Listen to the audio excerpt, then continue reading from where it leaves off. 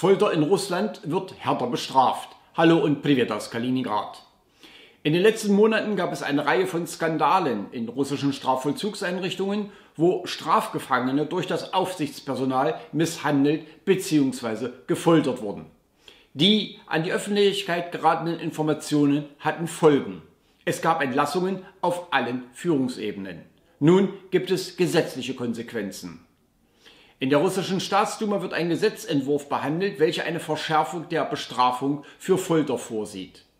Zukünftig werden die Mitarbeiter des Strafvollzuges zur strafrechtlichen Verantwortung gezogen, wenn sie mittels Druckausübung oder Folter von Insassen Handlungen einfordern. Zukünftig drohen bis zu zwölf Jahre Freiheitsentzug. Gleichzeitig wird Folter neu eingestuft. Besonders schwere Straftat. Ebenso soll der Begriff Folter umfassender definiert werden. Unter Folter versteht man zukünftig Handlungen, um Kontrolle über die Persönlichkeit zu erlangen.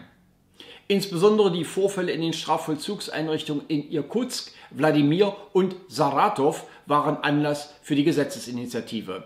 Vielen Dank für Ihre Aufmerksamkeit. Tschüss und Paka aus Kaliningrad.